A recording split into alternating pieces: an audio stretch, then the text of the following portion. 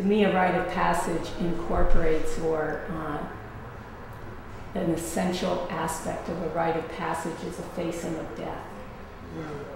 And when we do that at a young age, it's not that we don't have fear of death ever again, but there is something that shifts in us if we really face death at that age.